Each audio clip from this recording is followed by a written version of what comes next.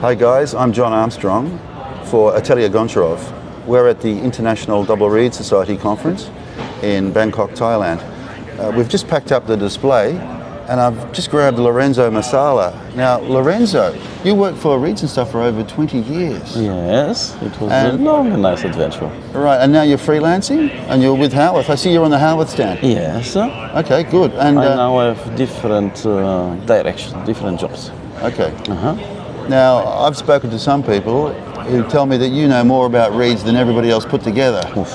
As I know it's a big, big call, but you actually helped me the other day with uh, my own instruments. You had some insights that I found particularly invaluable.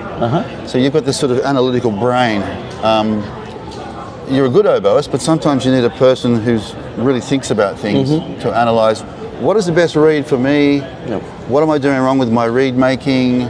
What mistakes am I making with my embouchure? Or, you know, I've heard that you've you've matched people up with the correct type of reed for their embouchure, and you've really helped a lot of people over the years.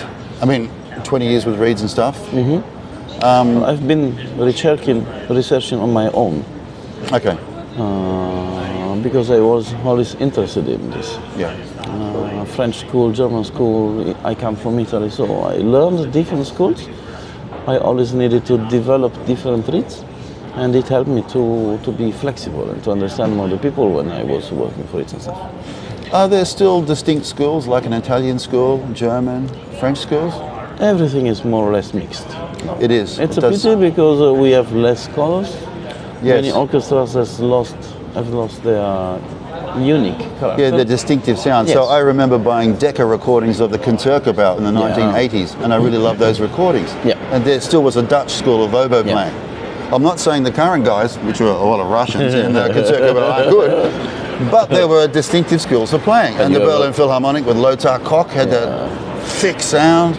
Now you have a lot of French oboes in German orchestra. Yes. Wow. If you visit the Paris Conservatoire, you hear a lot of German style playing. Yeah.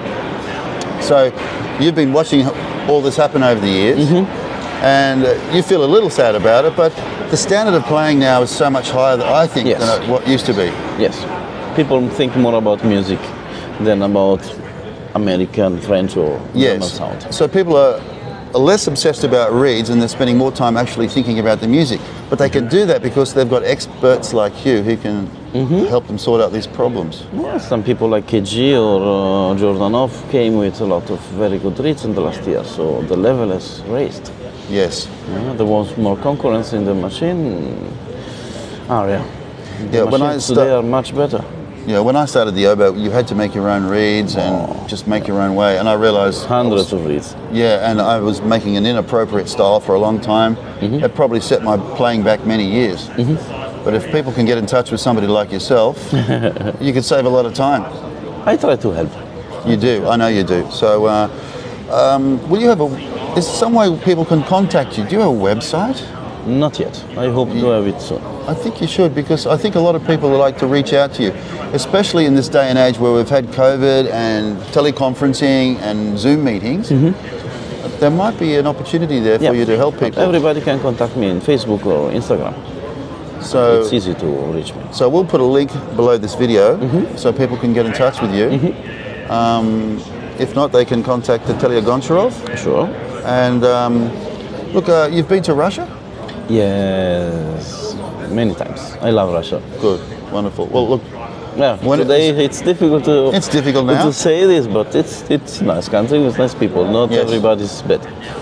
no, in fact, uh, I've married one, so I'm, I'm, Oh. I'm certainly in love with Russia.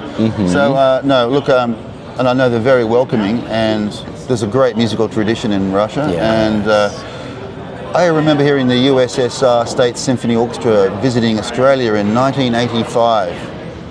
And the oboe playing wasn't on the same level as the violin playing, for example. But uh, the oboe players they're producing in Russia now are incredible, um, which is wonderful. So, look, um, if Russian oboists want to get in touch with you, we've got the link there. And uh, are you coming to the uh, International Double Reed Society conference next year in Arizona? I hope so. Okay. Now I am in, in Howarth's team. Yes, with Howarth. I hope I will come with Howard. So, guys, if you can get to the next conference, I suggest you do it because you'll meet this wonderful man and you'll probably pick up some very useful information. so, Lorenzo, Yeah, thanks for nice. talking to us. Thanks. Thanks, It's a pleasure. Thank you.